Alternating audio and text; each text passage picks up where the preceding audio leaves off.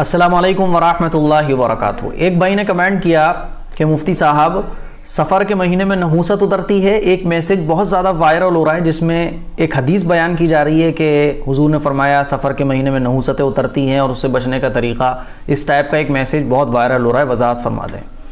سفر کے مہینے میں بیماریاں اترتی ہیں، نحوست اترتی ہیں، بلائیں آتی ہیں، یہ عوام میں مشہور ہے۔ جیسے کہ بہت ساری چیزیں ہیں نا، عوام میں غلط سلط پھیلی ہوئی۔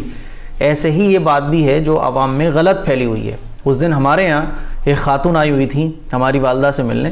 تو وہ کہنے لگیں آپس میں باتیں چل رہی تھیں تو وہ کہنے لگیں سفر کے مہینے میں تو نحوست اترتی ہیں، سفر کے مہینے میں بلائیں اترتی ہیں، فلاں کا انتقال ہوا تھا، انہیں بھی بلائیں دیکھ رہی تھیں اور بہت ساری عجیب و غریب باتیں وہ کر رہی تھیں۔ تو میں نے انہیں بتایا کہ نہیں، ایسی کوئی بات نہیں ہے۔ اور چونکہ وہ میرے سے عمر میں بہت بڑی تھیں تو میں نے انہیں سمجھایا کہ نہیں، ایسی بات نہیں ہے۔ اور اس ٹائپ سے جو کہا جاتا ہے، یہ غلط کہا جاتا ہے۔ کسی بھی مہینے میں کوئی نحوست، کوئی بلا، بیماری نہیں اترتی ہے۔ سارے کے سارے مہینے جو ہیں وہ اللہ کے بنائے ہوئے ہیں، سارے دن اللہ کے بنائے ہوئے ہیں۔ نحوست تو انسان کے اپنے اعمال، اپنے کرتوتوں کی وجہ سے آتی ہے۔ بے برکتی تو خود انسان کے اپنے اعمال کی وجہ سے آتی ہے۔ اور برکتیں وہ اپنے عمل کی وجہ سے آتی ہیں۔ اب کوئی انسان رمضان میں اگر نحوست والے کام کرے تو رمضان میں بھی اس پر نحوست نازل ہوگی۔ اور اگر کوئی سفر کے مہینے میں برکت والے کام کرتا ہے تو اللہ کی طرف سے برکت ہی نازل ہوگی۔ کوئی مہینہ نحوست والا نہیں ہے۔ ایک حدیث شریف میں تو حضور اکرم صلی اللہ علیہ وسلم نے بیان فرمایا کہ اللہ تعالیٰ فرماتا ہے کہ یہ انسان جو ہے وہ مہینوں کو برا بلا کہتا ہے، زمانے کو برا بلا کہتا ہے۔ حالانکہ زمانے کو بنانے والا تو میں ہوں، زمانے کو چلانے والا تو میں ہوں۔ تو وہ انسان مجھے برا بھلا کہہ رہا ہے؟ یہ حدیث کا مفہوم ہے۔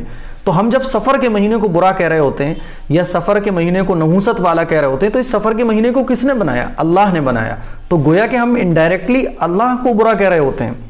ہمیں سوچنا چاہیے، یہ جو سفر کے مہینے میں بلائیں اترتی ہیں، نحوست اترتی ہیں، یہ جو کانسیپٹ ہے، یہ زمانے جاہلیت کا کانسیپٹ ہے۔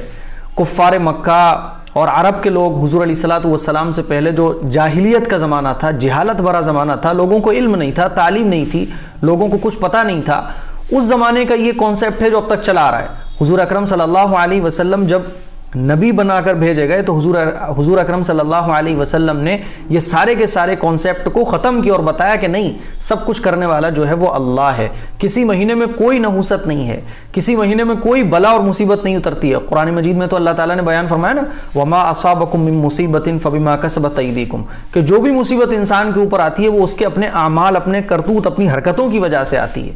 لہٰذا یہ سمجھنا کہ اس مہینے میں نحوست نازل ہوتی ہے، یہ جہالت والی باتیں کفار مکہ والی باتیں اسی لیے مسلمانوں کو چاہیے کہ وہ اپنا عقیدہ درست کریں، اپنی اصلاح کریں۔ اور بھائی نے جو لکھا ہے نا کہ ایسا کوئی میسج چل رہا ہے، تو ایسے میسج کی کوئی حقیقت نہیں ہے۔ ایسی کوئی حدیث نہیں ہے جس میں حضور نے یہ بیان فرمایا کہ اس مہینے میں یا اس دن میں یا اس تاریخ میں، دن میں یا رات میں کسی وقت میں نحوست اترتی ہیں۔ اب ہم جو اعمال کرتے ہیں، نحوست والے ہمارے اعمال ہوتے ہیں تو اللہ تعالیٰ کی طرف سے نحوستیں نازل ہوں گی، ظاہر ہے۔ جب ہمارے گھروں میں ڈیک ڈبے بج رہے ہوں گے، بے شرمی، بے حیاں عام ہو رہی ہوں گی، تو ظاہر ہے نحوست ہی اترے گی۔ اور جب ہم برکت والے کام کریں گے، قرآن مجید کی تلاوت کریں گے نمازوں کی پابندی کریں گے، جو اسلام نے طریقے بتائے، ان طریقوں کو فالو کریں گے تو برکتیں نازل ہوں گی۔ تو برکت والے کام کرو گے تو برکت نازل ہوگی، نحوست والے کام کرو گے تو نحوست نازل ہوگی۔